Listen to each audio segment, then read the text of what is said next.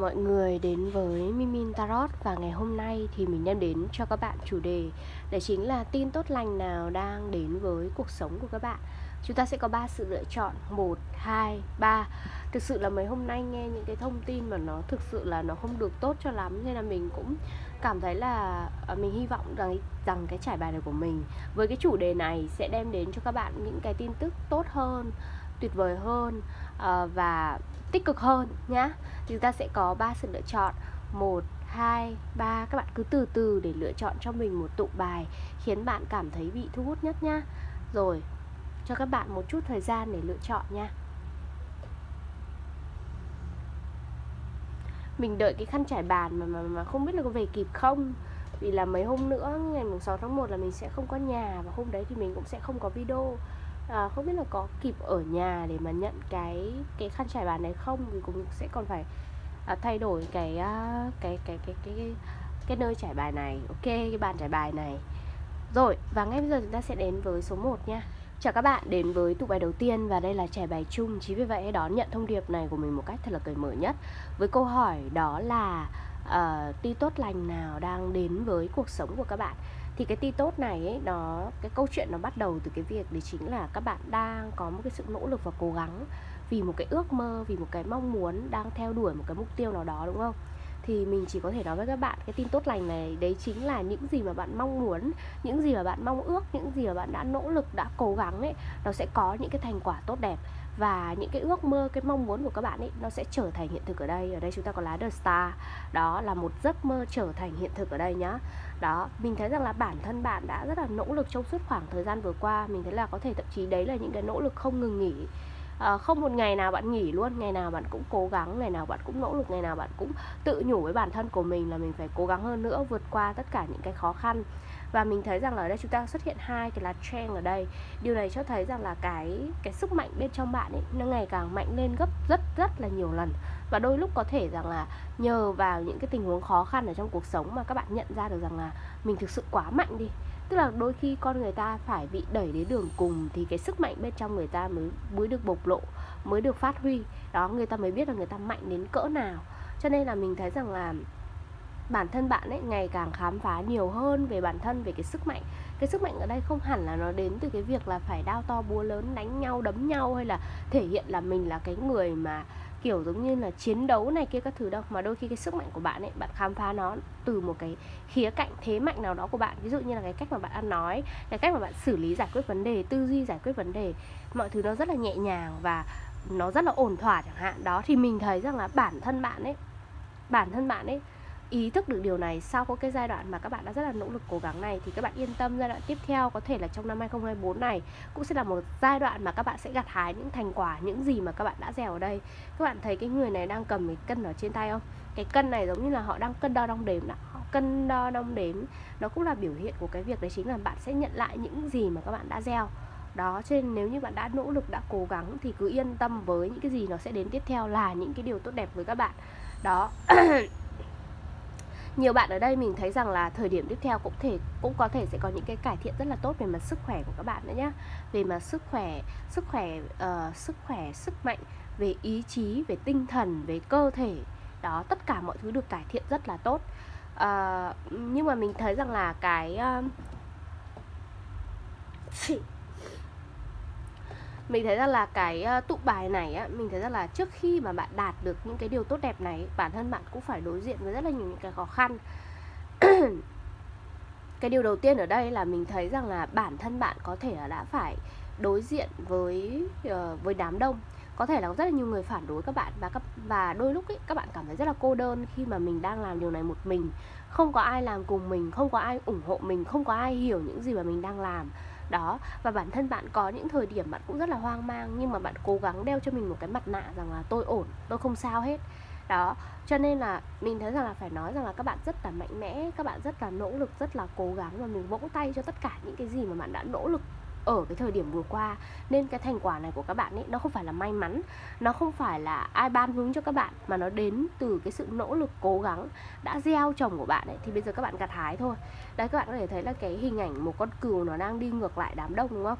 Bạn có thể đã làm một cái điều gì đấy nó rất là khác biệt, mà nó khác biệt so với đám đông, mọi người phản đối, hoặc thậm chí mọi người không ủng hộ, và bạn cảm thấy cô đơn trên cái con đường đó rất là nhiều nhưng mà bạn vẫn đeo mặt nạ rằng là bạn ổn, bạn không có vấn đề gì hết. Nhưng có những lúc các bạn dường như là gần như là gục ngã.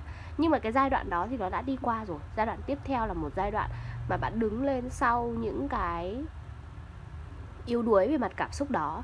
Các bạn tiếp tục tiến lên phía trước. Các bạn có thấy lá bài này không? Lá bài này nói về việc đấy chính là bạn đang rất là gần một cái chiến thắng nào đó rồi cho nên là hãy nỗ lực hơn một chút nữa thôi cố gắng thêm một chút nữa thôi. Cái ngày mà bạn gặt hái thành quả ấy, nó đang rất là gần các bạn rồi. Cái này thì có thể là liên quan đến công việc liên quan đến sự nghiệp liên quan đến học hành giáo dục gì đó của các bạn nha. Đó bất kỳ một cái mục tiêu nào mà các bạn đang dồn sức vào nó ấy, nó sẽ đạt được cái kết quả xứng đáng nha. Thi tiếng Anh này ờ, thi IELTS hay là gì đấy chẳng hạn này rồi rất là nhiều những cái khác chẳng hạn. Thì uh, ở đây á chúng ta còn có một cái lá bài này nữa. Lá bài này là một hình của một cái con rồng nó đang cuộn nó đang cuộn quanh một cái hộp kho báu. Cái điều này nó nói về việc đấy chính là cái uh, cái kho báu ấy nó nằm ở bên dưới cái bề mặt tức là bạn đã đào sâu cái mục tiêu hiện tại. Bạn đã đào sâu cái mục tiêu hiện tại, bạn đang nỗ lực, đang cố gắng, đang theo đuổi. Và đến cuối cùng ấy, có thể là cái tình huống ban, tình huống này ban đầu á, nhìn thì có vẻ là nó không quá là thuận lợi cho các bạn là cái thứ nhất. Cái thứ hai nữa là cái tình huống này hay là cái câu chuyện này hay cái mục tiêu này này.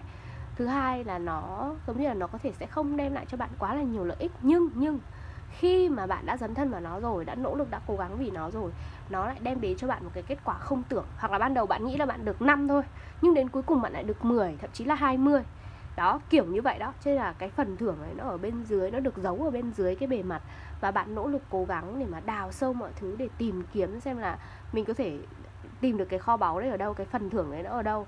Đó. Tiếp nha.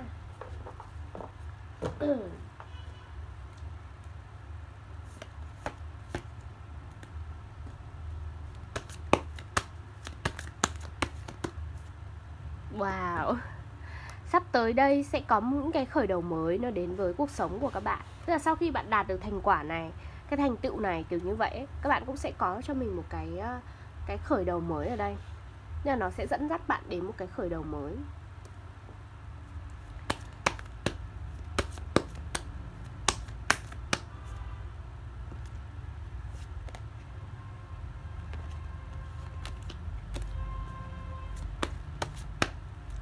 Với một số bạn thì cái tin tức tốt lành này sẽ do một người đàn ông nào đó tới chỗ bạn để thông báo cho bạn biết nhé nhưng mà đây sẽ là một tin tốt rằng là mọi thứ nó đang đi đúng hướng mọi thứ đang phát triển rất là tốt đẹp.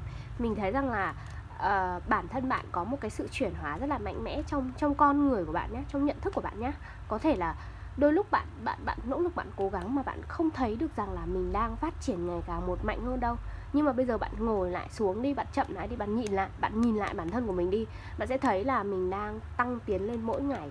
Và thậm chí là cái sự tăng tiến đấy nó đã thay đổi rất là nhiều, nó khiến bạn thay đổi rất là nhiều so với trước đây. Rồi, một lá nữa nha.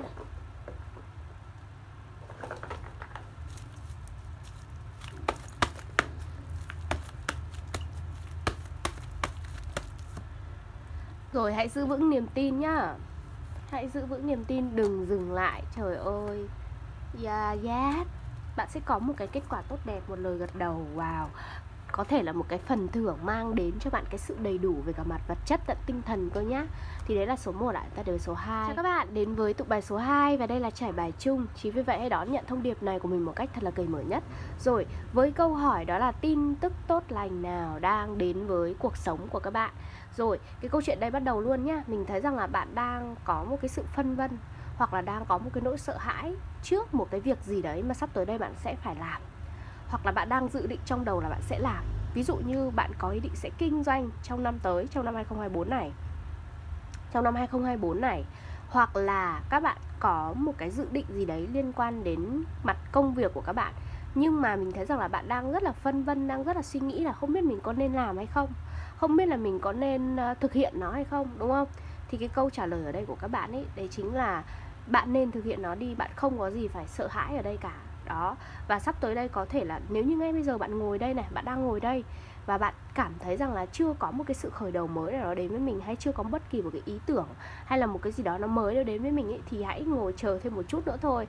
Sắp tới đây sẽ có một cái khởi đầu mới nó tới và nó có thể đến từ cái tự nhiên bạn nghĩ ra bạn mong muốn thực hiện theo cái điều đó hoặc là ai đó nói cho bạn hoặc là ai đó rủ bạn à, làm cùng đó hoặc là như thế nào đó đại loại là sẽ phải có một cái khởi đầu diễn ra ở đây.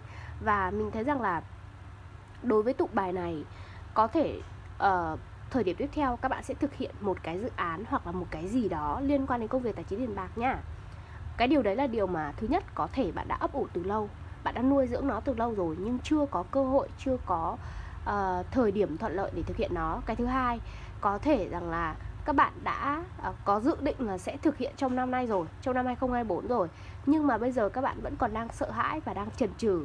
Thì cho dù bạn ở trong cái trạng thái nào đi chăng nữa thì ở đây đang thúc giục các bạn đấy chính là hãy bước đi những cái bước đi đầu tiên. Có thể bạn mơ về những ngày bạn có rất là nhiều những cái sự dồi dào về mặt tiền bạc tài chính một cuộc sống đầy đủ về cả mặt vật chất tinh thần. Nhưng nếu như mà chính bạn ngày hôm nay không có bắt đầu cái bước đầu tiên ấy, thì đến bao giờ, đến bao giờ bạn mới có được cái thứ mà các bạn mong muốn, ước mơ liên quan đến tiền bạc, tài chính, liên quan đến cuộc sống đó được, đúng không?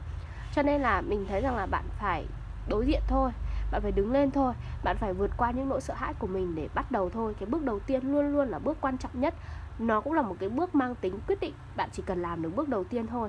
Là đầu tiên là chúng ta vượt qua những nỗi sợ hãi này, rồi cái sự chây ì lười biếng của chúng ta này, rồi là rất là nhiều những cái vấn đề khác chúng ta vượt qua được chúng ta nhảy đến được cái bước đầu tiên là chúng ta đã làm một cái bước tiến rất là vượt bậc, vượt bậc rồi. Và sau đó chúng ta tiếp tục nỗ lực cố gắng để tiến lên cái mục tiêu của chúng ta. Mình thấy rằng là thời điểm tiếp theo ấy các bạn sẽ phải làm việc rất là chăm chỉ đấy để để đi thực hiện cái mục tiêu mà các bạn mong muốn đấy. Ở đây với một số bạn nhé với một số bạn có thể ngay khi các bạn đang ngồi đây và bản thân các bạn chưa có dự định gì hết nhưng có thể sắp tới đây có thể bạn sẽ có thông báo chuyển team chuyển team hoặc là chuyển nhóm hoặc là chuyển uh, dự án hoặc là chuyển một cái gì đấy. Tức là uh, tại vì là cái trải bài này sẽ có rất là nhiều người uh, đang xem. Uh, mình cũng bắt năng lượng của rất là nhiều người nên mỗi trường hợp có thể nó sẽ khác nhau một đôi chút. Có những bạn là các bạn thì có dự định thật còn có những bạn chưa có dự định gì hết thì có thể là cuộc sống sẽ đưa đẩy các bạn đến với những cái dự định mới. Và có thể có những trường hợp là bạn cũng không hẳn là muốn cái dự định mới này đâu, chưa muốn bắt đầu cái mới này đâu, vẫn còn sợ hãi, vẫn còn muốn lùi bước, nhưng mà cuộc sống nó đưa đẩy bạn, nó buộc bạn phải đối diện với những cái khởi đầu mới với những cái thứ mới mẻ này. Ví dụ như là một dự án mới chẳng hạn. Thì mình thấy là bạn, giống như là không có đường cho bạn quay đầu đâu, bạn đã tiến là bạn chỉ có tiến lên thôi, chứ bạn không có ngoảnh lại đâu. Giống như là quá khứ, hiện tại và tương lai á, bạn thấy rằng là có bao giờ mọi người quay lại quá khứ được không? Không mọi người cứ nói là có cỗ máy thời gian nhưng mà ít nhất thời điểm hiện tại thì cũng chưa có quay lại được, nha. Rồi, quá khứ, hiện tại, tương lai, mọi thứ ngày càng tăng tiến về phía trước thì các bạn cũng như thế, các bạn không có quay đầu được.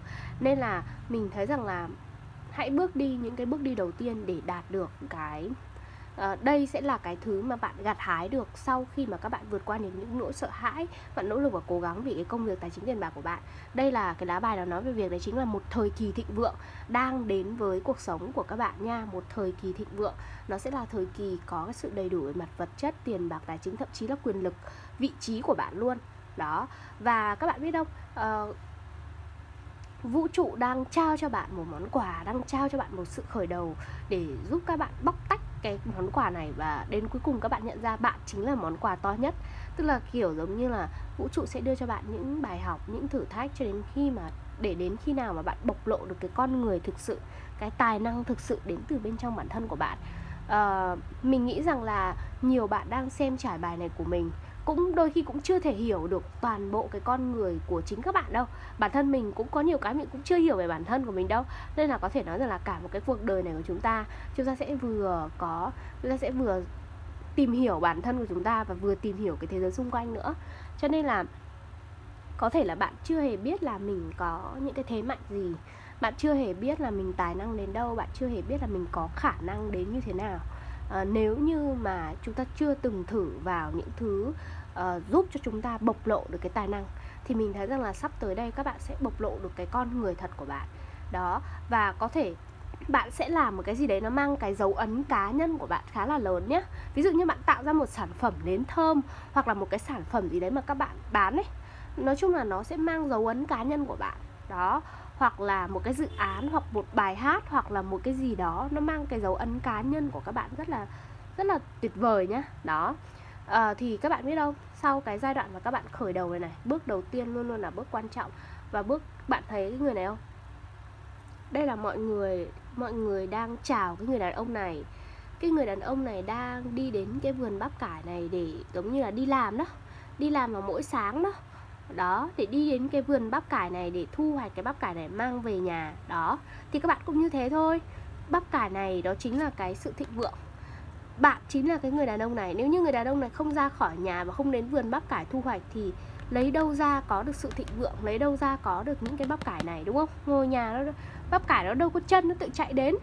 Cho nên là các bạn ơi khởi đầu mới đang tới rồi. Có thể đây là một tin tức mà bạn sẽ nhận được trong thời điểm tiếp theo liên quan đến một cái khởi đầu mới không công việc nào đó uh, của bạn. Và cho dù bạn có sợ hãi như thế nào đi chăng nữa thì đến cuối cùng bạn cũng sẽ quyết định chiến đấu với nó bắt đầu với nó.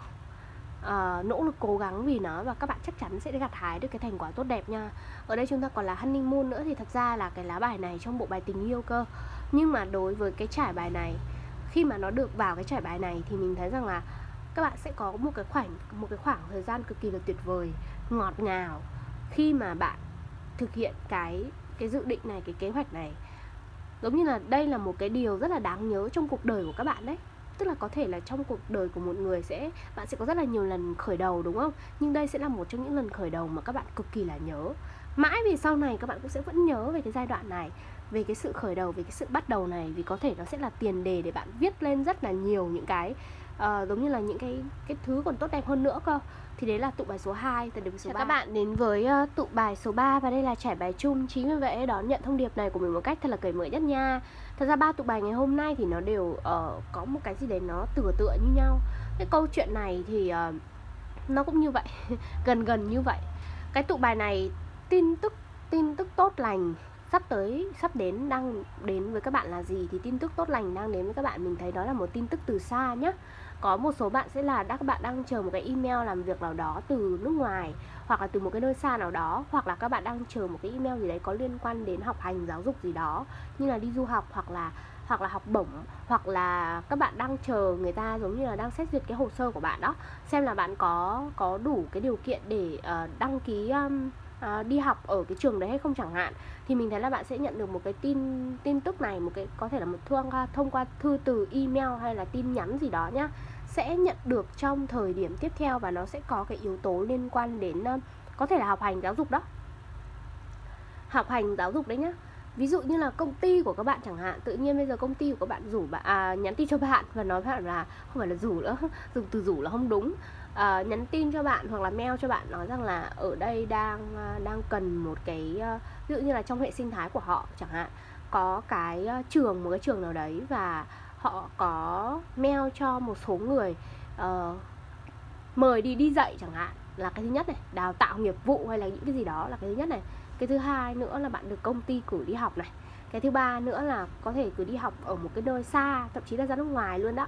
Đấy có một số bạn ở đây thì mình thấy rằng là uh, cái cái điều này này cái tin tức này này nó sẽ giúp bạn có có được một cái sự phát triển rất là mạnh mẽ về cái mặt tầm nhìn của bạn. Tức là có thể hiểu rằng là cái điều này là một điều nó rất là khác biệt. Tức là cái tin tức này nó sẽ là một cái tin tức rất là khác biệt so với những tin tức trước đây mà bạn đã nhận được là cái thứ nhất. Cái thứ hai nữa là so với những người khác thì cái tin tức này cũng là một cái tin tức đặc biệt nhất.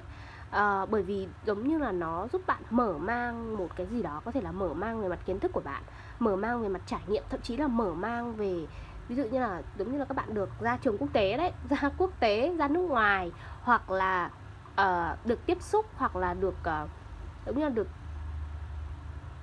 được tạo điều kiện đó. Đấy được tạo điều kiện để có thể là giống như là à, vượt qua những cái uh, giống như là những cái cái cái cái cái vòng lặp cũ của bạn để nó làm một cái điều gì đó mới mẻ hơn làm một điều gì đó khác đi. Và mình thấy rằng là ở đây chúng ta có lá bài just tức là hãy hãy tin vào cái kế hoạch của divine của của vũ trụ. Tức là đây là cái kế hoạch mà vũ trụ đã chuẩn bị cho bạn và bạn xứng đáng với cái điều này và họ cũng thấy rằng là bạn có thể đảm đương cái câu chuyện này, đảm đương được cái tình huống này, đảm đương được cái nhiệm vụ này, đảm đương được cái cơ hội này. Đó, cho nên họ mới trao cho các bạn. Và mình thấy rằng là bản thân bạn hãy lạc quan lên trong tất cả mọi thứ. Khi mà mọi thứ nó đang diễn ra đây, hãy lạc quan lên và hãy nhớ một điều rằng, hãy nhớ một điều rằng là trong cái câu chuyện này thì sự giao tiếp nó sẽ đóng vai trò là chìa khóa. Có thể là bạn được giao một cái vị trí trong công việc liên quan đến việc phải đi nói chuyện với khách hàng uh, giao tiếp hoặc là uh, trong cái câu chuyện này mình thấy rằng là cái sự trao đổi giao tiếp với những người xung quanh với những người có liên quan đến câu chuyện này nó sẽ đóng vai trò cực kỳ là quan trọng. Ở đây chúng ta còn là thanh gót nữa. Thì bạn thấy cái người đàn ông này đang quỳ xuống và đang uh, giống như là đang tạ ơn vì cái người này bạn thấy họ ăn mặc giống như kiểu Robinson ngoài đảo hoang đấy và họ nhìn thấy cái chiếc thuyền từ xa đang tới, giống như họ cảm thấy họ đã tìm thấy cái vị cứu cứu tinh, cứu cánh cho cuộc đời của họ rồi đấy. Bởi vì để họ thoát khỏi cái hoang đảo này, bạn thấy cái người này đang quỳ xuống và đang cảm ơn, đang biết ơn, cho nên là tất cả những cái điều này là những cái điều tốt. Và ở đây chúng ta còn là hai số 5 năm nữa. Để ý nhá, xem giai đoạn này có hay nhìn thấy những số thiên thần dạng 5555 không? Đó Ờ, số thiên thần này các bạn có thể bắt gặp ở uh, trên đồng hồ điện thoại ở biển số xe ở bất kỳ đâu đó. Đây chúng ta có 5 năm này thấy không? Đó và các bạn biết không? Chính cái điều thay đổi này cái tin tức từ xa này nó đem đến với các bạn ấy nó sẽ đem lại cho bạn một cái sự thịnh vượng ở đây ba tụ bài, một tụ bài thì ở abundant tụ bài số 2 cũng cũng cái lá bài với cái ý nghĩa sự thịnh vượng này. Cái lá số 3 này cũng là một cái lá bài liên quan đến cái sự thịnh vượng ở đây, sự tốt đẹp ở đây. Thì mình thấy rằng là cái điều này nó sẽ dẫn lối bạn đi đến cái mục tiêu này nhá. Đợi mình một xíu.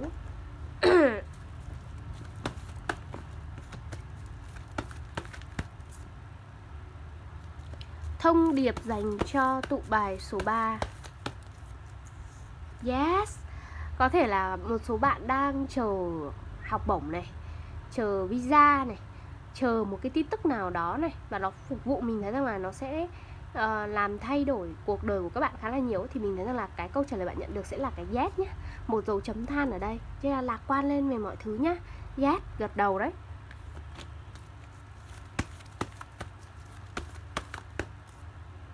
Đây, chúng ta lại có một lần nữa cái lá bài Communicate Clearly. Tức là ở đây cái sự giao tiếp nó sẽ đóng vai trò cực kỳ quan trọng. Và để có được cái kết quả này tốt đẹp này thì hãy nhớ đến một cái chìa khóa thôi. Đấy chính là hãy nói chuyện, hãy trình bày, hãy giao tiếp một cách thật là rõ ràng Để đối phương và những cái người có liên quan có thể hiểu được những thứ mà các bạn đang mong muốn đạt được. Đó, hiểu được bản thân bạn là người như thế nào để họ có thể trao cho bạn những cái cơ hội tốt. Nhớ điều này, không phải tự nhiên mà nó nhảy ra hai cái lá bài này đâu nhá đó và đây này mình nãy mình có nói với mọi người là hãy để ý đến những cái con số như kiểu 5555 đúng không? Con số thiên thần đúng không? Tức là thiên thần đã trước cái câu chuyện này thiên thần đã gửi ra cho các bạn vũ trụ đã gửi ra cho các bạn rất là nhiều những cái dấu hiệu ví dụ như là bạn sẽ thấy cái yếu tố này với một số trường hợp có thể là các bạn sẽ có cái yếu tố là đi xa nữa nhá đi xa đi nước ngoài đi uh, đi ở trong nước cũng đi trong nước nhưng mà đi đến xa thì có thể là bạn sẽ có những cái dấu hiệu sau. Thứ nhất là bạn sẽ thấy số lặp này. Cái thứ hai nữa là có thể bạn sẽ thấy những cái đồ đạc mà bấy lâu nay bạn dùng ấy. Là những cái đồ đấy là những cái đồ mà nó đã uh, dùng khá là lâu rồi khá là lâu năm rồi tự nhiên nó hỏng. Để ý mà xem xem có phải như vậy không nhá. Tự nhiên bạn thấy nó cứ lần lượt hỏng mà đấy là những cái đồ thứ nhất có thể bạn rất là yêu thích. Cái thứ hai là bạn dùng được rất là lâu rồi nhưng bây giờ nó đột nhiên nó hỏng. Đó có giống như là một cái sự dọn đường để đón một cái sự thay đổi mới đang tới đó within the next few weeks.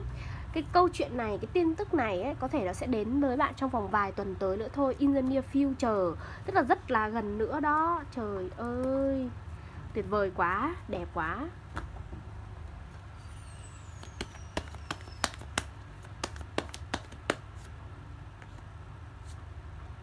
Lại The Chariot thì khả năng cái này nó có cái yếu tố có yếu tố uh, mang tính di chuyển khá là cao ở đây nhá. Rồi một lá cuối cùng đi. Để kết thúc cái trải bài này ở đây nhá.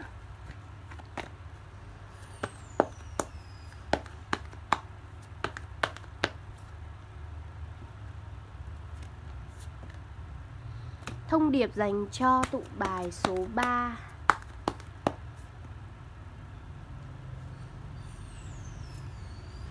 support you around you hãy luôn nhớ, hãy hãy luôn nhớ câu này trong đầu. Đấy chính là sự hỗ trợ nó luôn ở bên cạnh bạn. Vì thế nếu như bạn gặp khó khăn, hãy chọn cách để giao tiếp, để nói chuyện, để giải quyết những cái khó khăn đó. Có thể là nhờ đến sự trợ giúp đến từ những người xung quanh nữa nhá, nhớ điều này. Thì đấy là tụ bài số 3 cảm ơn các bạn đã lắng nghe, nhấn like, đăng ký kênh của mình nha. Bye.